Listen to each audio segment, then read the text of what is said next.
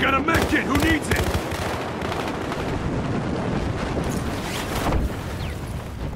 Looking at a cop.